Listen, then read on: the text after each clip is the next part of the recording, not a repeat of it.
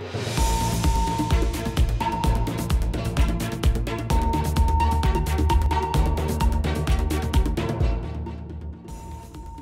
Soyez les bienvenus dans le Business Club de France des entrepreneurs. Direction Cherbourg aujourd'hui pour découvrir le véritable Cherbourg. Je veux parler du fameux parapluie de Cherbourg. Euh, Charles Yvon, le président de cette entreprise familiale, est avec nous et vous le verrez, il ne manque pas d'idées pour innover dans ce domaine. Et corrigeons cette semaine direction 3 pour découvrir l'entreprise DES qui fabrique aussi des parapluies et des parasols, qui équipe de grands groupes français mais qui s'exporte aussi très bien un peu partout dans le monde. Ensuite, nous irons à Beauvais pour découvrir le parapluie géolocalisé qui vous permet, grâce à un casque audio, de bénéficier des conseils d'un guide en fonction du lieu où vous vous trouvez. C'est Sonopluie qui a mis au point cette innovation.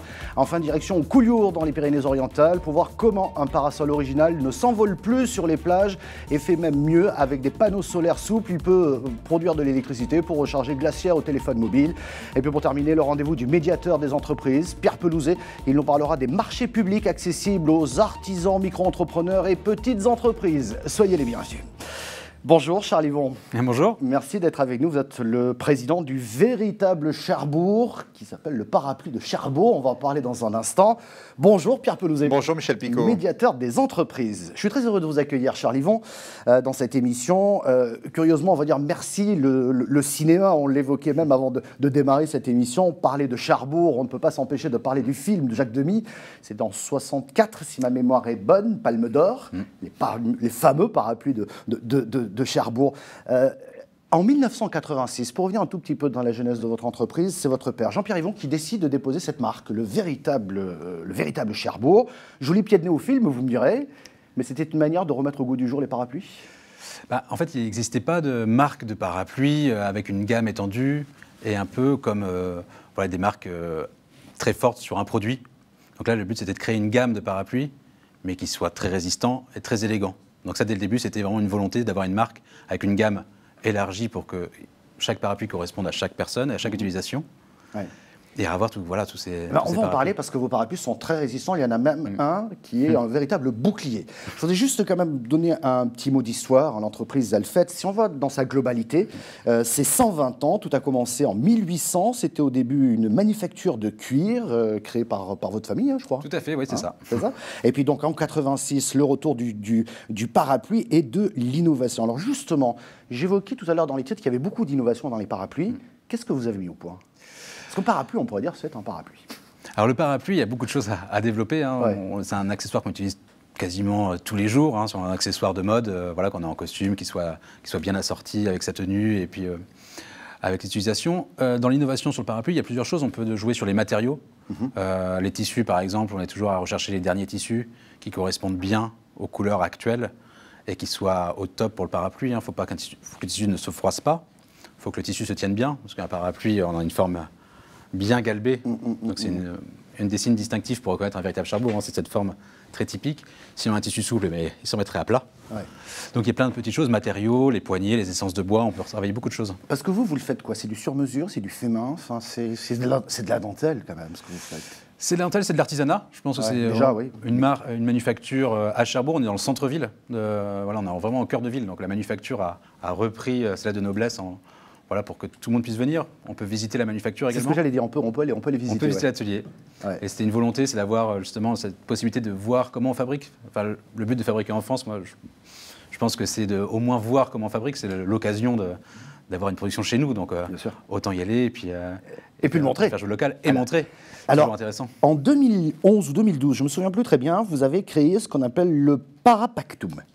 Alors ça, c'est ce fameux parapluie bouclier. Vous l'avez testé. Il y a des chiens qui ont sauté dessus. Enfin bon, c'est un truc de fou. Et ça tient. C'est pour les VIP et c'est pour leur protection. Hein. Tout à fait, oui. C'est pour les, vraiment les gardes du corps. C'est pour les, groupes de sécurité, voilà, que ce soit présidentiel, euh, pour les cours royales, enfin, pour les palais. Enfin, voilà, les personnes qui ont besoin de protection. C'est un vrai outil de, là, c'est quand même beaucoup de technologie, quand même, mine de rien. Parce que ce parapluie ne doit pas peser 30 kg, à mon avis. Non, il pèse un petit peu moins de 30 kg, mais il pèse beaucoup plus lourd qu'un parapluie classique. Voilà, il pèse plus lourd, mais enfin, il faut quand même pouvoir le porter. Et en même temps, il est ultra résistant. Il est ultra résistant. Euh, on utilise du titane, on utilise du carbone, enfin, toutes les dernières technologies qui sont issues de la, Formule 1. C'est les mêmes process de fabrication. Donc, c'est un parapluie qui est redoutable pour l'action. Il, est vraiment été, il était reconnu opérationnel sur le, sur le terrain. Hmm. Euh, on est là sur quelque chose qui est fait pour la protection, c'est un outil de protection, on est plus sur un parapluie classique. Euh. Alors quelques chiffres vous concernant, 15 000 parapluies vendus en 2019, c'est bien ça? C'est ça, tout à fait. Euh, c'est, dont un cinquième est parti à l'étranger, mais là vous comptez accélérer, je dirais, le développement à l'international. J'ai presque envie de vous dire, ça fait pas beaucoup par rapport aux 14 millions de parapluies asiatiques qui arrivent en France chaque année. Euh, vous faites du fait main, c'est donc forcément un petit peu plus cher. comment résistez-vous face aux parapluies quasi jetables, j'ai envie de dire, made in China oui, on peut, on peut parler de parapluie jetable. Hein, on le voit à chaque, à chaque coup de vent, les poubelles sont remplies. Enfin, c'est un peu ridicule. Euh, non, bah justement, on est à contre-courant sur, euh, sur ces produits d'importation qui, euh, bah, qui envahissent nos poubelles. Et, non, là, n'est pas le but. C'est d'avoir un parapluie qui soit durable mhm. et qui se transmette de génération en génération. Donc, on est vraiment sur un objet, un patrimoine qui reste dans la famille. Et ça, c'est extraordinaire. Et qu'on n'oublie pas n'importe où, du coup. On y fait attention. On y fait attention, forcément. Alors, il n'y a pas qu'à Cherbourg où l'on trouve des fabricants de parapluies. Je vous amène dans trois à la rencontre de l'entreprise DES qui a beaucoup investi dans ses machines pour rester compétitive tout en proposant du haut de gamme dans les parapluies et les parasols. Ensuite, nous irons à Beauvais pour découvrir l'innovation de Sonopluie, des parapluies géolocalisés qui permettent, où que vous soyez, de bénéficier d'un guide touristique directement dans vos oreilles grâce à un casque audio connecté au parapluie. Enfin, direction Couillour dans les Pyrénées-Orientales pour découvrir le parasol qui ne s'envole plus sur la plage et qui produit, grâce à des panneaux solaires souples, de l'électricité pour recharger son mobile ou encore faire fonctionner la glacière. Nos territoires ne manquent pas d'idées, c'est l'heure d'éco-région. L'activité de l'entreprise est partagée entre la production de parapluies et de parasols, Nigloland, plusieurs maisons de champagne de l'Aube ou de la Marne, mais aussi Air France, la Fondation Cartier ou Vuitton font partie de la clientèle. Ce sont des, clients très fidèles. Pour créer un produit qui soit euh, conforme à l'image qu'ils souhaitent, c'est-à-dire, euh, dans notre cas, par exemple, un parapluie ou un parasol, il faut que les couleurs soient respectées, qu'il y ait une qualité d'impression, et puis qu'on soit capable aussi de livrer à temps. Donc quand ils ont trouvé un, fabricant réactif avec des prix euh, corrects, ils le gardent. Une balade sonore avec un parapluie géolocalisé. L'idée peut paraître loufoque, mais c'est pourtant ce que propose la maladrerie Saint-Lazare à Beauvais depuis le 2 mai. L'expérience plutôt originale s'appelle Sonopluie et elle permet aux visiteurs de découvrir ce lieu datant du XIIe siècle grâce à un casque audio. Cette balade sonore, on la doit à deux entreprises nantaises, Digital Samovar pour la partie artistique et Aken pour la partie technique.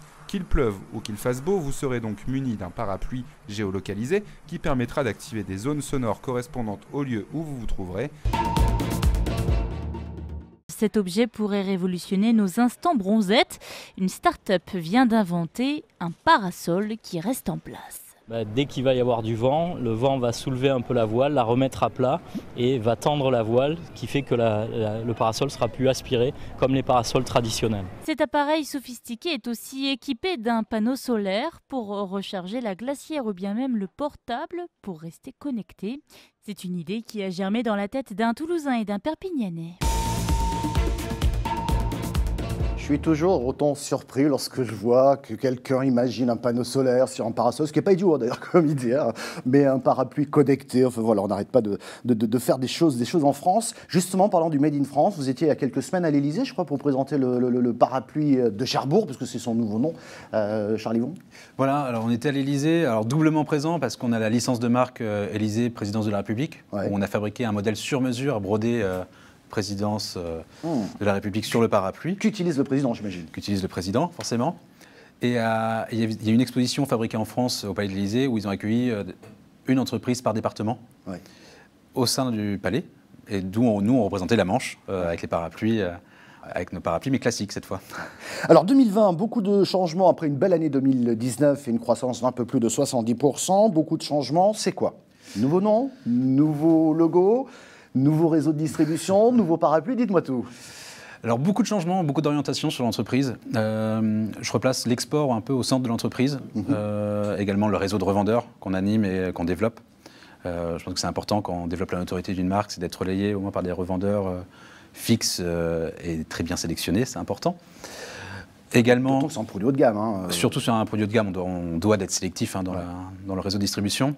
On a aussi un site euh, marchand et un site web qui est en pleine évolution. On utilise vraiment les dernières technologies euh, en termes de, que ce soit en responsive ou e-commerce. On utilise vraiment ce, qu'il y a de, mieux et de plus efficace. Uh-huh. Euh, vous avez parlé aussi du nouveau nom et de nouvelle charte graphique là, qui vient de sortir. avec un style plus épuré, qui montre aussi le modernisme de la, de la marque. il y avait beaucoup de choses à changer dans l'entreprise. Et aussi, à la base, c'était la, la, partie de la production, de la manufacture, où on a refait un lifting de la manufacture, où là, on voit toute la totalité de la production d'un coup d'œil. Enfin voilà, une production épurée pour a un meilleur euh, bien-être au travail. sacré coup de jeune, hein, finalement, hein, que vous comptez donner au parapluie de Cherbourg. Juste pour la petite anecdote, elle va vous intéresser, mais elle ne vous empêchera pas de dormir. En Chine, euh, ben, c'est là-bas où a été inventé le parapluie il y a plus de 3500 ans. C'est le pays, euh, le premier producteur de parapluies au monde. Et ça, j'ai lu sur votre blog, parce qu'offrir un parapluie à une personne bien aimée, amour ou amitié en Chine, traduit le souhait de se séparer d'elle, parce que le parapluie, ça veut dire san, et san, ça veut dire séparation. Voilà, on en apprend tous les jours dans cette émission. C'est l'heure du rendez-vous avec le médiateur des entreprises. Et Pierre Pelouzeux, on s'intéresse au marché public. On le sait, trop peu de petites entreprises osent euh, ose l'offre publique, il hein, faut le savoir. Et pourtant, il existe des guides et des démarches simplifiées. Oui, et d'autant plus qu'il y a une très bonne nouvelle sur les marchés publics qui vient de sortir au 1er janvier de cette année. Les marchés simplifiés peuvent être proposés aux entreprises à partir de 40 000 euros. C'est-à-dire que jusqu'à 40 000 euros, les collectivités, l'État, les hôpitaux peuvent faire des marchés très simples. C'est-à-dire on n'a pas besoin de rentrer dans la grande mécanique des marchés publics. Il suffit de demander trois devis à des entreprises et puis de prendre le mieux disant, c'est-à-dire celui qui offrira la meilleure qualité pour le meilleur prix et lui attribuer le marché. Ça va donc donner des opportunités extraordinaires pour les artisans, pour les TPE, pour les PME, pour toutes ces entreprises locales euh, qui avaient du mal à travailler sur les marchés publics et qui aujourd'hui se voient offrir cette opportunité. Donc on a fait un petit guide effectivement qui s'appelle euh, Petit marché public découvrez pour les artisans, les PME, les, petites entreprises. On l'a fait avec les entreprises comme toujours. Hein. On est accompagné par la CPME, par l'UDP, donc l'Union des artisans, par le MEDEF et par les chambres de métiers qui, j'espère, vont tous diffuser très largement ce guide. On aimerait que toutes les entreprises de France, tous ceux qui ont possibilité de vendre des parapluies ou d'autres produits euh, dans les marchés publics, connaissent ce guide, s'en emparent, aillent vers les marchés publics parce qu'il y a beaucoup d'argent qui devrait aller vers ces entreprises. Et puis vous le savez de toute façon, si un sujet, une difficulté, vous pouvez toujours saisir le médiateur des entreprises. On vous accompagnera dans le dialogue pour résoudre ça. Donc n'hésitez pas, allez-y. J'appelle aussi toutes les collectivités, les acheteurs publics à prendre ce guide et à le diffuser aussi. Et bien entendu, vous le trouvez sur le site médiateur des entreprises, comme toujours. Merci beaucoup, Pierre Pelouzet. Charles Yvon, j'aimerais ouvrir un parapluie dans un studio de télé. C'est possible, ça? C'est possible, bien sûr. Eh ben, on va le faire tout de suite, le temps de se dire au revoir. Je vous invite à venir même à côté de moi, si vous le voulez. On l'ouvre. Et avec Pierre, venez me rejoindre. Merci en tout cas d'avoir euh, suivi cette émission. Retrouvez-la en replay vidéo sur le site de votre chaîne. Vous pouvez ouvrir le parapluie en podcast audio. Et depuis quelques jours sur Radio Marseillette, Radio Dans le Var ou encore Pop Radio à Montpellier. Merci de votre fidélité. À très bientôt.